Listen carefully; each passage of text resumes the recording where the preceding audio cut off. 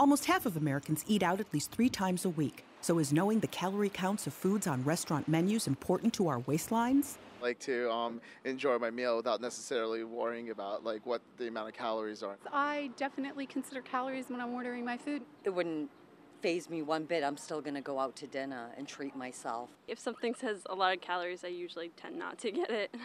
We know that consumers make healthier choices when the posted calories are on the menu. Dr. Susan Roberts from Tufts University and co authors evaluated the calorie content of several fast food and sit down restaurant meals across the country.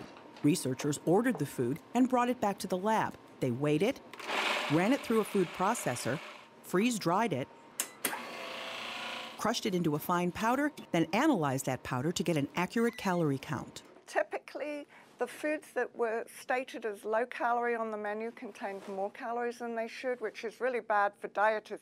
The high calorie foods on the menus actually contain fewer calories than they should. This study appears in this week's JAMA, Journal of the American Medical Association. We had one food that came in that contained 1,000 calories more than the amount listed on the menu, which even we were shocked about. Researchers say soups and salads had large variations in calories, and those are typical items dieters often order when eating out. Uh, I weighed it out. It was. The calories in most fast food salads were in line, but many salads from sit down restaurants had much higher calorie counts than stated on the menu. The fast food restaurants are doing pretty well in terms of quality control. It's really the sit down restaurants that need to examine their quality control and um, step up to the plate better.